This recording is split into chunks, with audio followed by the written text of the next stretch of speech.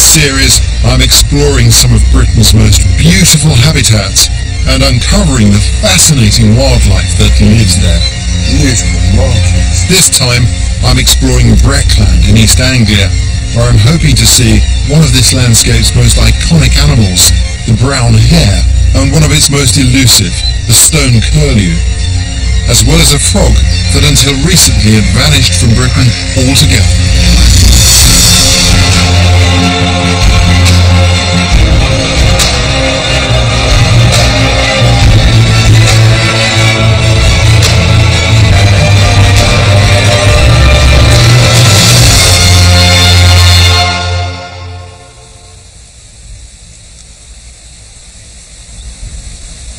This is an incredible landscape. This is Breckland in East Anglia. The term means broken landscape, and while I'm here looking for wildlife, I'm hoping to find out just what broke it. Breckland is one of Britain's least familiar but richest habitats. It's home to an exciting variety of wildlife that has perfectly adapted to this extraordinary landscape. The varied terrain includes arable farmland, forest, and isolated pools. But the area is defined by the vast open sandy heath that gives Breckland its unique look.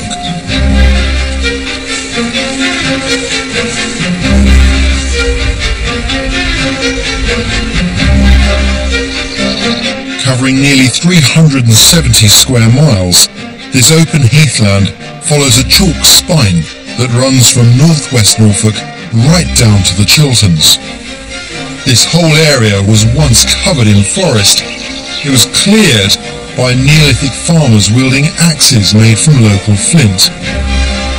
After centuries of overgrazing, the land became exhausted, literally broken.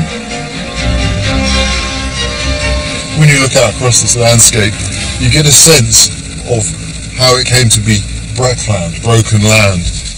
This open heathland has remained open thanks to one small but incredibly successful animal. I can just see a pair of ears poking up over there. Is the coney or rabbit. The rabbit's constant grazing keeps the grass short and has prevented the area being reclaimed by trees and shrubs. Just stop here for a minute and see if any of them decide to pop their heads up. You can see one running up there. You see him just sitting there, tucked down, watching, wary, alert. Everything wants to eat rabbits, and yet they still manage to survive. They're incredible creatures. When you look across here, with all this sandy soil there, that's the rabbit's warren. I can see the odd lookout, the sentry, on duty there, on its squat, watching out, and if there's a, a threat, they thump with their foot. That's their alarm. The flash of a white bunny tail is a warning to the rest of the colony that there might be a fox or stoat close by.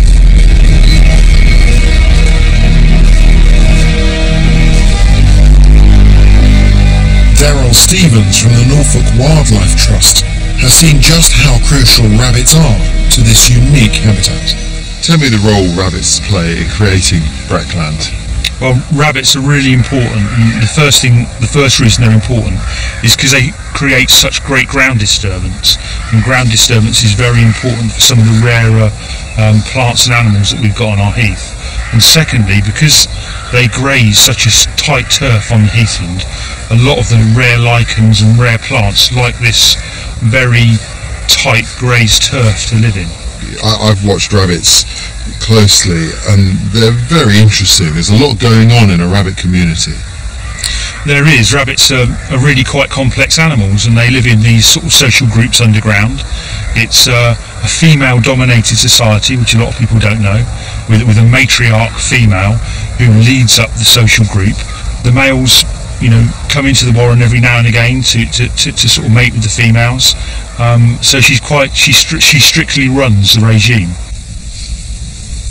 They are one of the top uh, top food sources for, for, for large birds of prey, um, for, for, foxes, for stoats in particular. Um, and of course, we, you get a lot of stoats going in and out of the warrens looking for young rabbits or looking for adult rabbits even. So yeah, they are a, a very popular uh, food source for, for, a lot for, for a lot of animals. As a non-native species that was introduced, you, you're rather in favour of them. I'm extremely pro the rabbit. Um, I think rabbits are fantastic.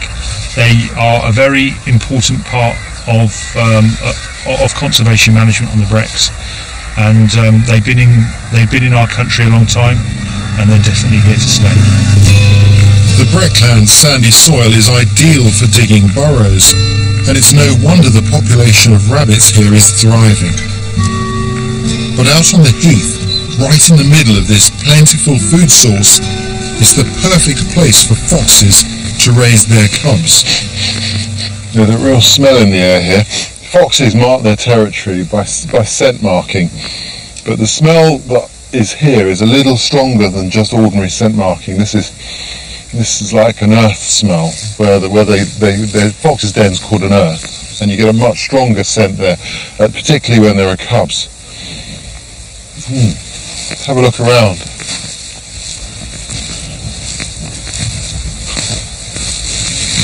Oh yes, here we go.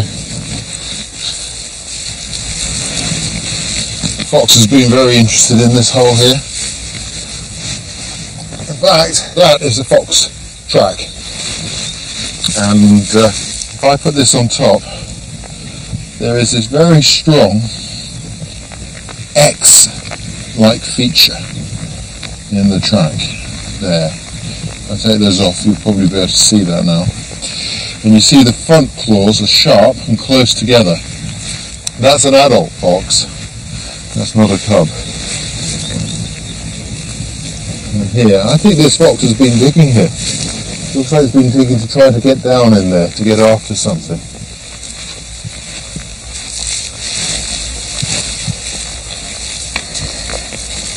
Signs of predation. All, all the way around this gorse bush here, I'm finding droppings. Foxes will leave droppings, particularly on a mound like that. On a little raised mound tussock. That's also part of their territorial marking. You can see lots of rabbit fur in that dropping. It's a big fox. And here again, you see the tail on the dropping here, the tail at the end that tells you it's a predator. And lots of rabbit fur in there. And the light colour because it's been eating a lot of bone, a lot of calcium in there. And you, that, that dropping you know, on that mound is is basically it's a territorial marking post, as a fox saying, this is mine here. Well, the weather's breaking a little bit. These these areas of Breckland can be quite exposed in bad weather. I'm finding all the droppings just on the edge of this clump of uh, gorse, so I'm certain there's an earth in here. There's a, the really white droppings there. You can see lots of bone being consumed. At this time of year, fox cubs have been out and about for some time. When they first emerge, though, they'll hang around the entrance to the earth under the watchful gaze of their mum. But then they very quickly start to become independent, and they're very good hunters from an early age. And with all these rabbits here, they really are parked right in amongst their food source. With luck, I'll get a chance to see some of these foxes, but as they're mainly nocturnal, I may have to wait until dusk. I'm exploring the Brecks in Norfolk, discovering what makes this landscape so special. Breckland is made up of wide sandy heathland lined by Scots pines with small knots of woodland. But since the Stone Age, it's been the flinty ground here that has attracted the interest of man. This grassy lunar landscape is Grimes Graves. It contains over 400 flint mines, the earliest dating back nearly 5,000 years. Flint mined from this landscape was one of the most precious and versatile materials for our Stone Age ancestors, as long as you knew how to work it. I can't come to Breckland without coming to see an old friend who, for me, in many ways, personifies this environment. That's John Lord. He's the country's leading flint knapper, and uh, we've known each other for a very long while. John used to be a custodian here at Grimes Graves. Now he gives demonstrations on how to make flint axes and arrowheads from raw lumps of Breckland flint, using the same techniques as Neolithic man once did. I'd like to finish up with that. Yeah, well, that's I'd like to. But people in the past could do this um, on a regular basis with very little trouble. It takes years of practice to be able to hit the flint at just the right angle, to thin it down to leave a razor-sharp cutting edge. Using a red deer antler as a hammer, John is able to work the flint into the different shapes needed for various tools.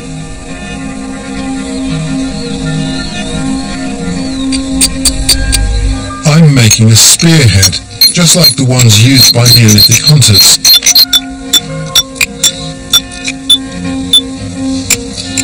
It's nearly 30 years since John gave me my first lesson in knapping, but there's still plenty to learn.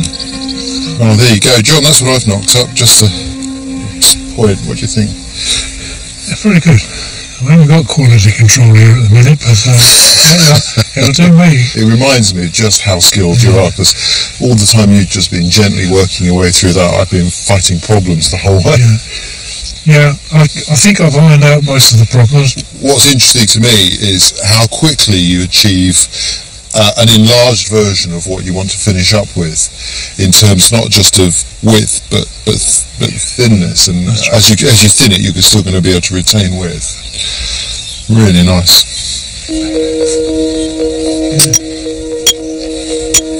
The Breckland topsoil is littered with flint, but the really good quality stone lies several meters underground.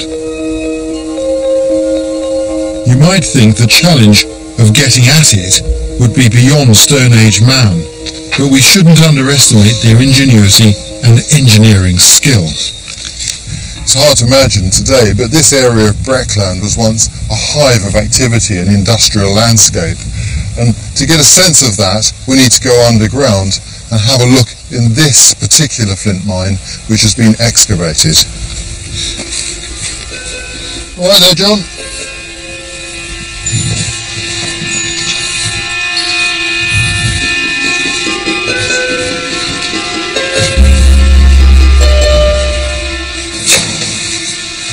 Wow, John, that's it's special, isn't it? The temperature's really dropped as we come down in here, and, and I feel like we've stepped back in into the Stone Age. It's real, isn't it? It is.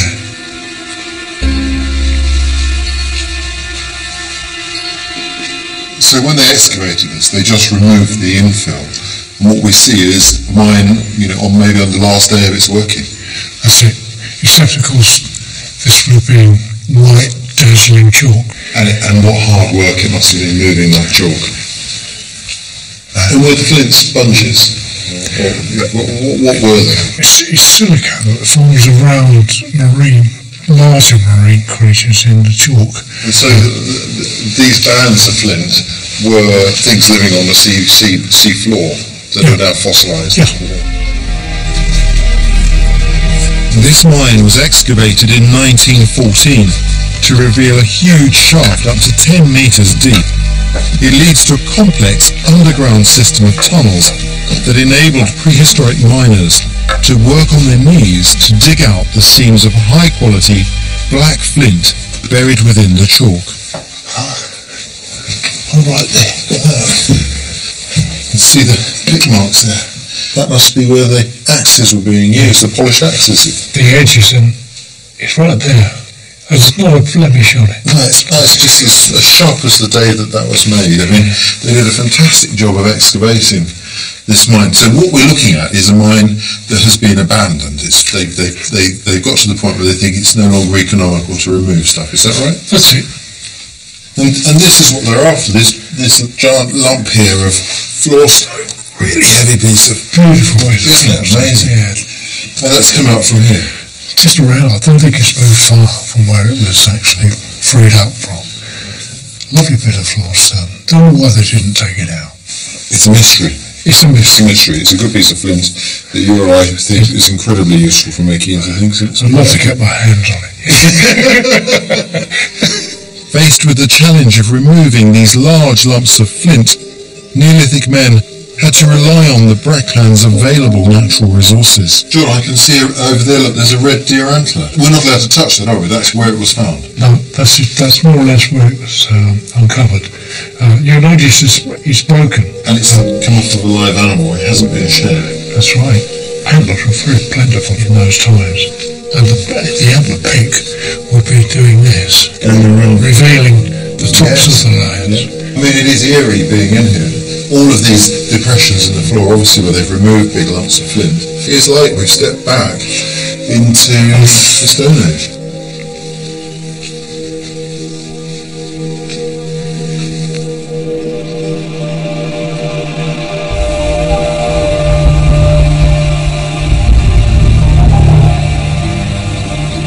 The dry and flinty Breckland soil may seem an unlikely place for anything to thrive, but in fact it's helped to create the perfect habitat for one of our rarest and most beautiful birds.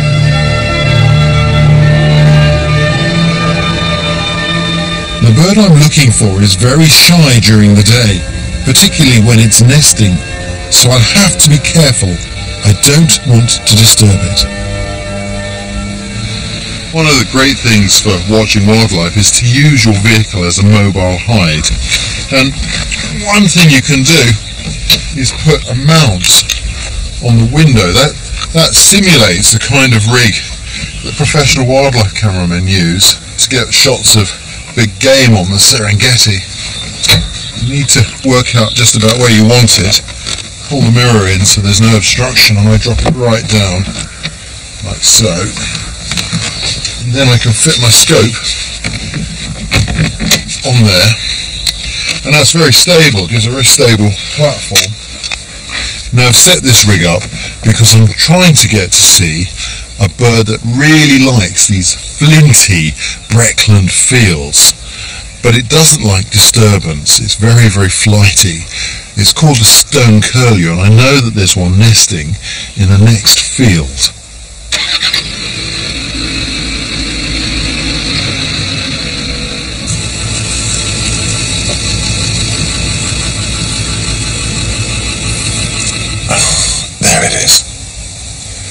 Can see it. It's not run off. Fantastic.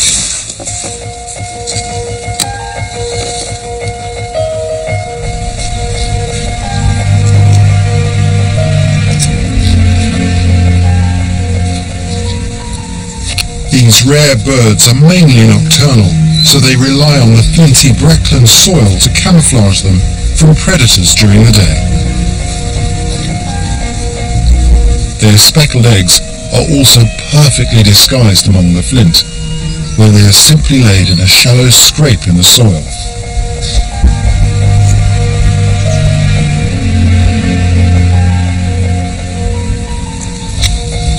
The male and the female share their workload, taking it in turns to sit on their eggs for 27 days until they hatch.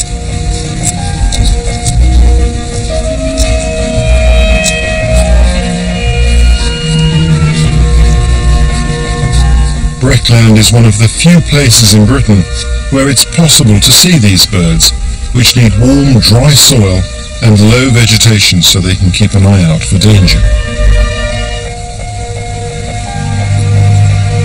Their large yellow eyes are extremely sensitive and are adapted for seeking out insects at night.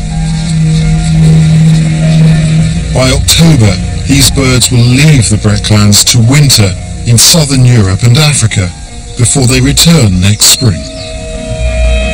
In the next field, some eggs have already hatched. Paul Batchelor from the RSPB has come to tag and gather data on the fledglings in order to keep track of their progress.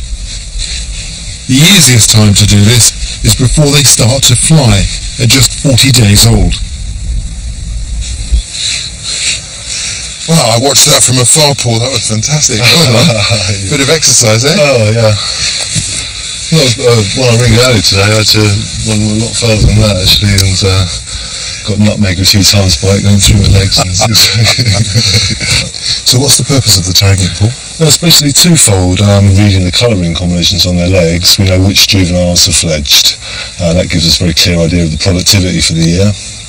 Uh, the other purpose of it is when these birds are older and they nest, we know exactly which birds are in which pair.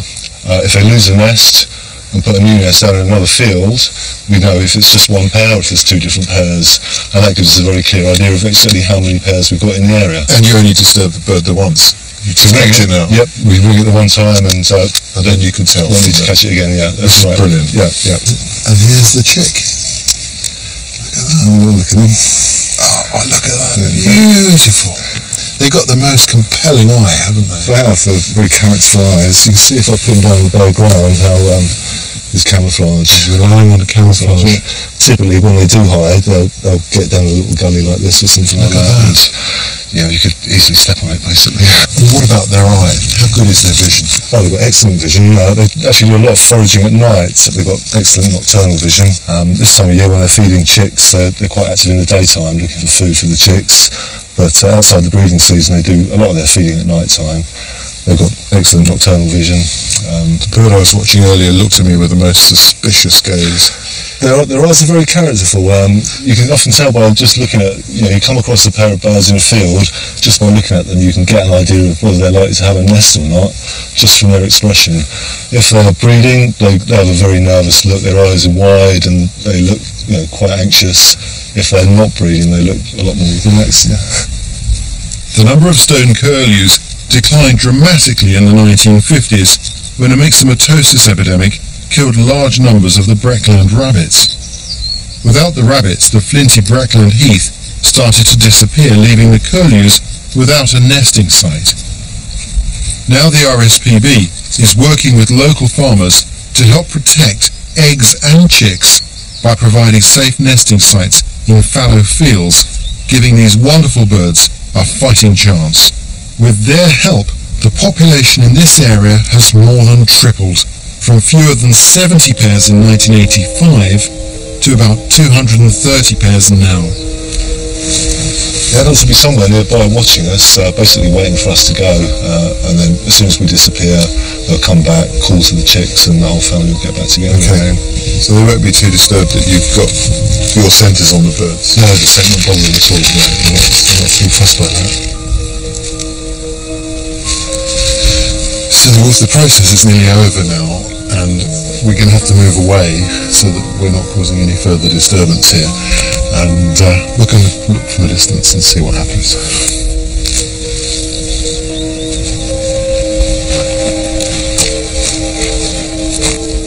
The chick's parents have been watching on anxiously, so we retreat to a safe distance to see what happens next. Well, that's great. I can see both the adult birds returning now. And they're going to check out the whole area to make sure that they perceive no threats. That's fantastic. So it looks like that operation's been completely successful, and because of that work, those those two chicks become ambassadors for their species and can be monitored. It enables us to measure our effect on their population, and hopefully enables us to improve situations for them. So with the help of the the, the work of the RSPB here and the support of local farmers, the health of this population is improving. It's fantastic. I've come to the Brecks in East Anglia to explore the fascinating wildlife that lives here. Breckland has the hottest summers and coldest winters in the country. This low, open landscape bakes in the summer heat, helping to create this truly unique habitat.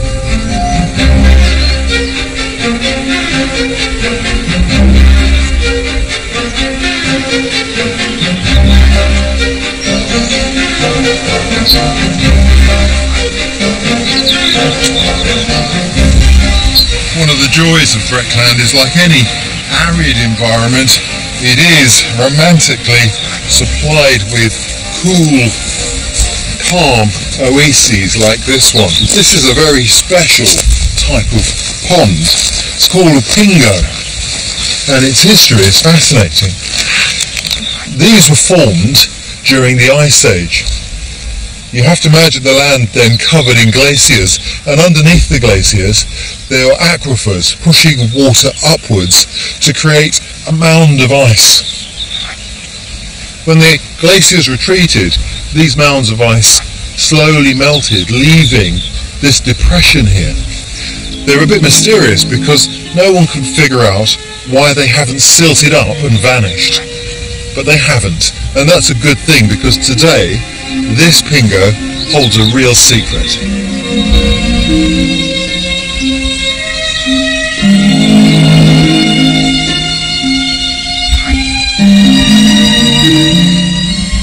What I'm looking for are pool frogs. That's Britain's rarest frog species. It was a species that was once common throughout the UK until it died out. Today, this pingo is at the centre of efforts to reintroduce this species. As yet, we don't know whether those efforts will prove to be successful, but everyone's got their fingers crossed.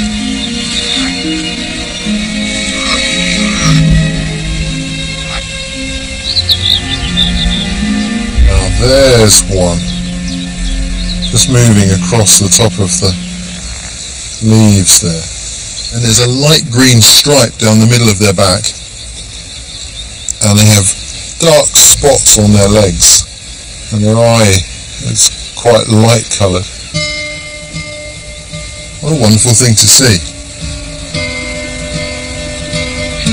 The pool frogs are most active during the summer months when they spend nearly all of their time in or very close to the water. The small sunny pingo is the ideal place for them to spawn and also provides them with a plentiful supply of food.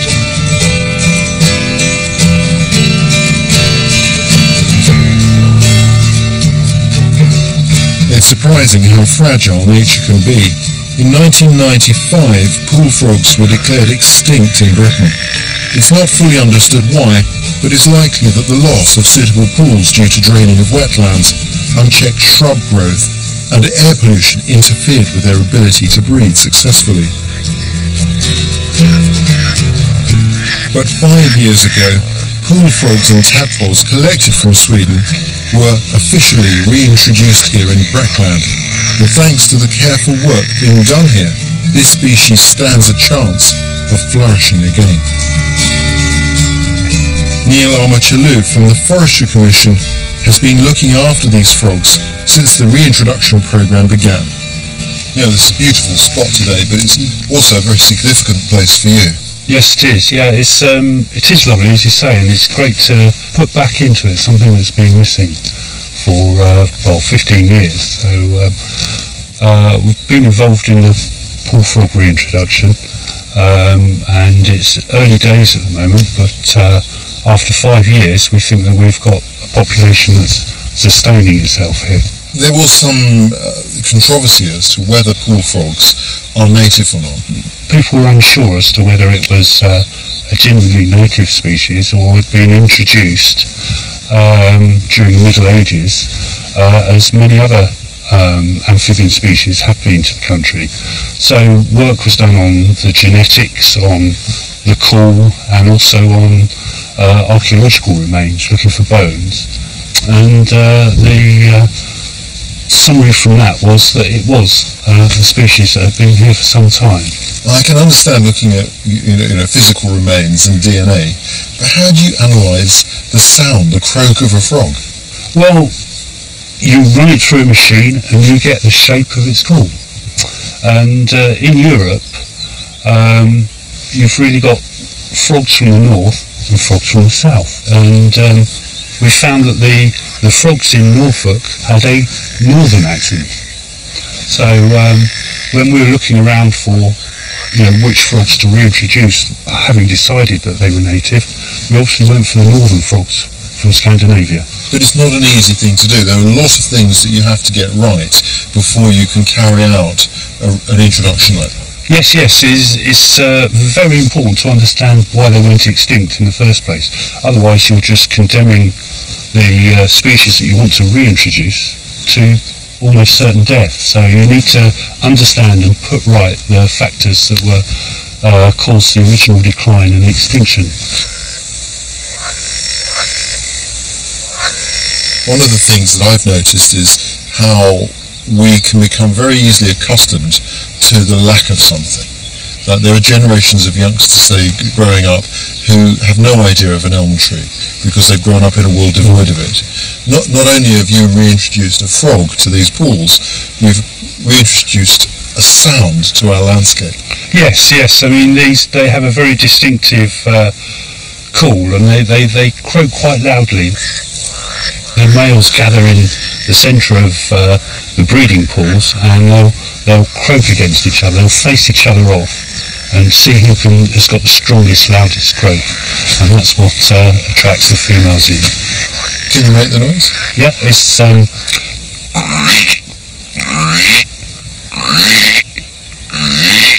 Go on, you have a go and see if you can get them to call back. Okay, I'll give it a go. Do it again.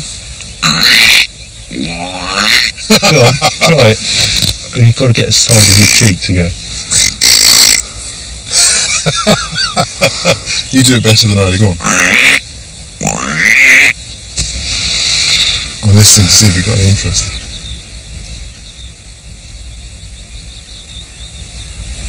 Not today. No.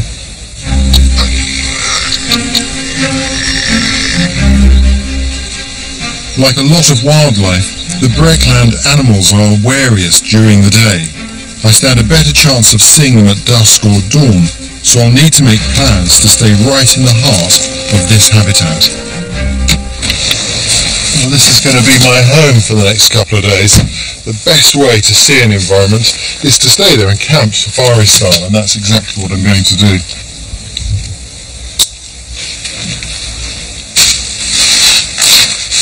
Obviously, I've had to arrange special permission to do this. You can't just go and set up a camp anywhere, but it doesn't matter whether you set up a camp like this or you just take an ordinary tent to a campsite. The Key thing is to be there in the environment at the right time of day. Just tension the rope.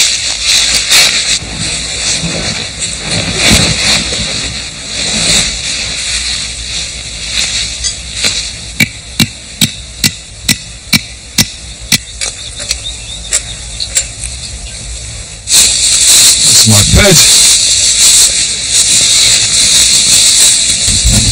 I can just sleep here tonight, that'd be fine. And uh, there we go. So just a very simple camp, a roof over my head. That's all I really need. Fireplace, and I'm set up. I like camps like this because you've got such good access to the countryside around you. I can see out in all 360 degrees. I've got very good visibility here. I can just sit quietly here later with a pair of binoculars and watch. I put my camp up under oak trees. Oak trees very rarely drop a dead branch. Over there, over here, lots of beech trees, beautiful beech woodland, and on the beach it looks the perfect place to put a camp. But beech trees are notorious for dropping branches big enough to kill, so you never camp under beech. But beech does provide, obviously, lots of good firewood, and that's perfect.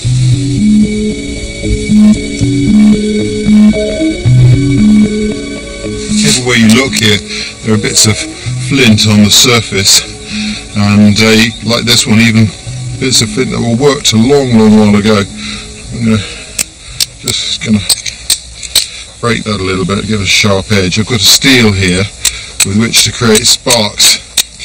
Long after Grimes Graves closed down as a production centre for stone axes, Brandon, the nearby town, became the centre of the gunflint industry, and uh, millions of gunflints were produced there.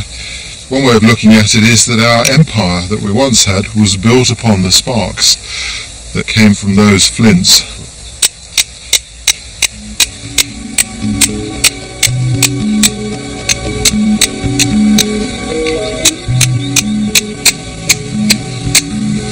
There we go. Uh, you see how reliable that flint is. Put that in some of this local gorse, some dead gorse, and hopefully that'll catch me. Just show you why you mustn't casually discard a cigarette on a gorse heath.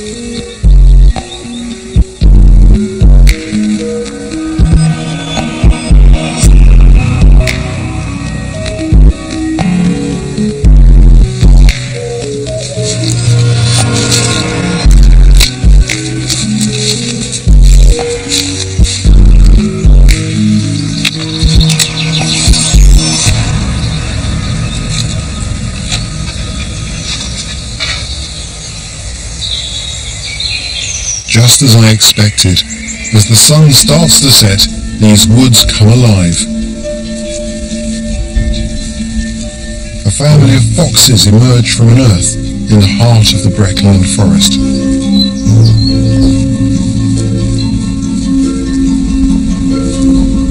Born in March, these cubs first venture above ground in April, and now they explore and play close to the safety of the earth.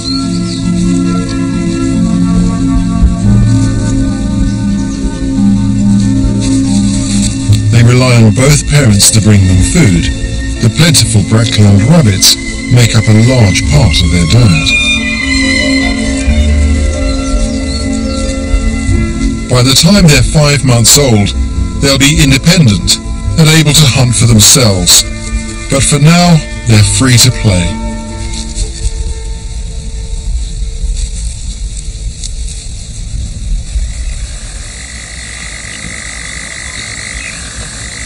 As night falls, the Brecks fill with their own nocturnal soundtrack, providing me with a magical lullaby.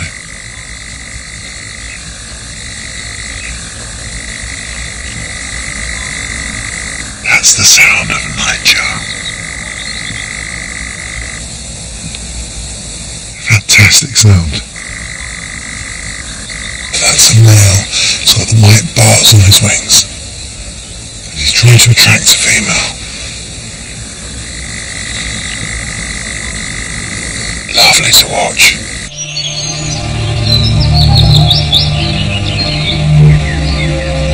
I'm in the Breckland, a vast area of heathland in East Anglia. With its dry, sandy soil, this area looks more like the Russian steppe than England. But many of the animals that live here are perfectly adapted to this extraordinary landscape.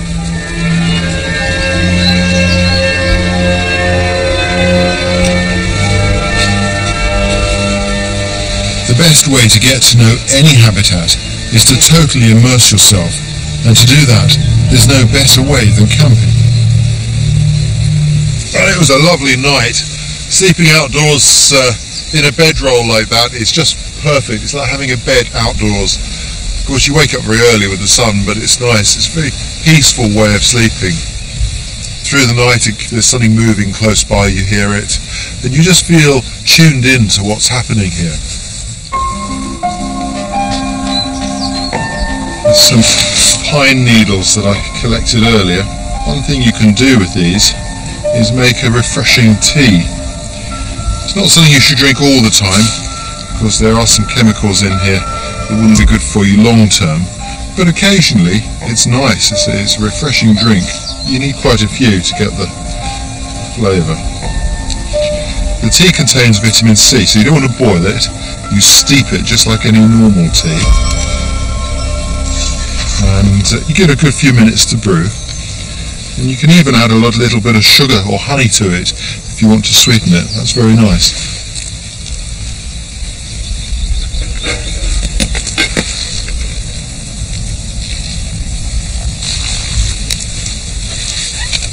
That should be brewed now.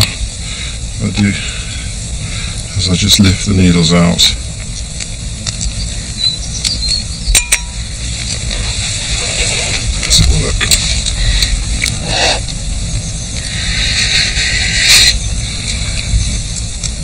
That's nice. It's a delicate flavour and uh, it's really nice on a cold day.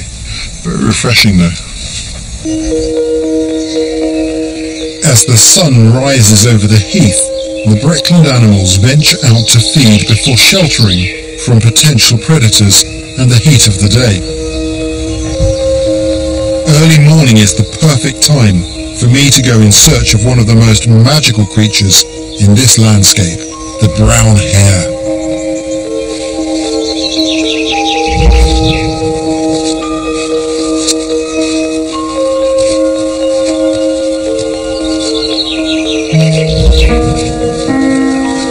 Hares are usually solitary creatures, but where there's plenty of food like in this farmer's field, they'll gather together to graze.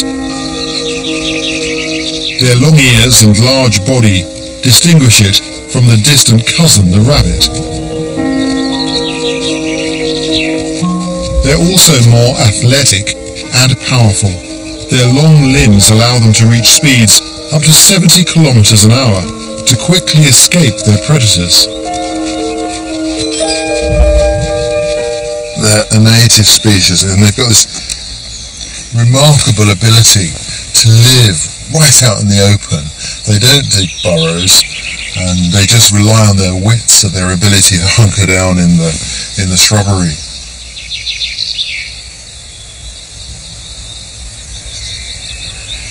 This baby hare or leveret has been left by its mother in this tall grass to hide it from potential predators.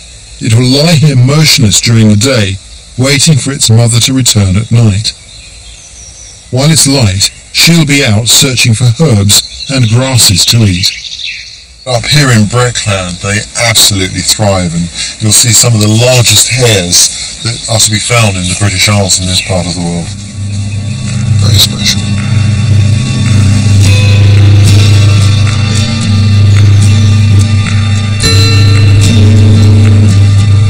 Before I leave the Brecks, there's one more animal I'm hoping to see.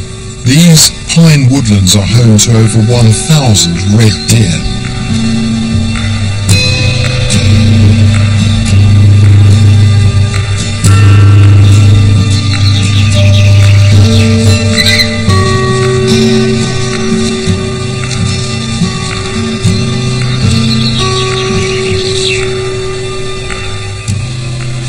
Magnificent creatures are some of the largest red deer in Britain.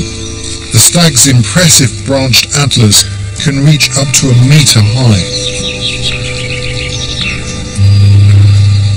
As well as being beautiful to look at, they've played a vital role in man's history with the area. Makes me think about the people who dug out Grimes' graves. There were those red deer antlers.